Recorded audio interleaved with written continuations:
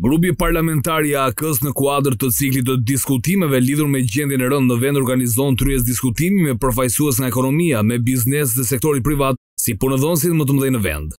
Kreu i Aleancës për Ardhmërinë e Kosovës, Ramush Haradinaj tha se Kosova është në një krizë të rrezikshme.